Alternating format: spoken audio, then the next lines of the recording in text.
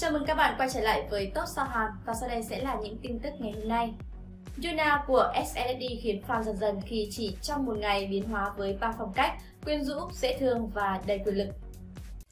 Sở hữu vẻ đẹp tựa nữ thần, Yuna dường như chưa bao giờ làm người hâm mộ thất vọng trong mỗi lần tham dự sự kiện. Sau màn đổ bộ thảm đỏ liên hoan phim Busan vào ngày 3 tháng 10 với vẻ ngoài xinh như công chúa, thì mới đây nhất cô nàng tiếp tục khiến dân tình đứng ngồi không yên nhờ nhan sắc biến hóa khôn lường khi tham gia hai sự kiện trong cùng một ngày và mỗi lần xuất hiện lại là một sắc thái khác nhau.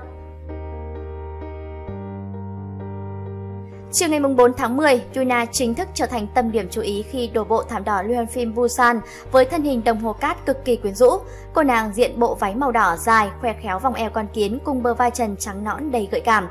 Gương mặt tươi tắn cực thân thiện của Yuna khiến bất kỳ ai nấy đều phải tan chảy hú hét trước nhan sắc đỉnh cao của nữ thần nhà SM.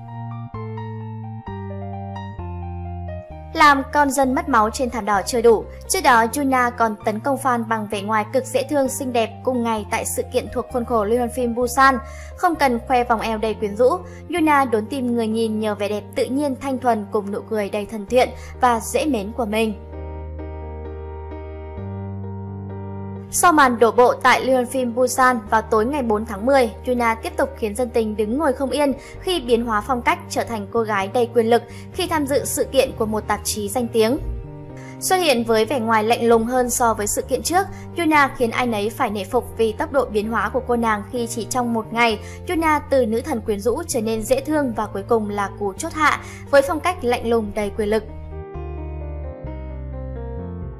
Trước màn biến hóa xuất sắc của Yuna tại hai sự kiện trong cùng một ngày, ai nấy đều không ngớt lời khen ngợi dành cho cô. Không riêng gì phong cách biến hóa mà thần thái lẫn nhan sắc của nữ idol cũng đáng để người hâm mộ dành cho Yuna cả triệu like rồi. Có thể thấy những gì mà Yuna thể hiện đã khiến những người theo dõi cô hết sức hài lòng và fan thì chỉ còn biết chết chìm trong sự xinh đẹp của nữ thần nhà FM mà thôi.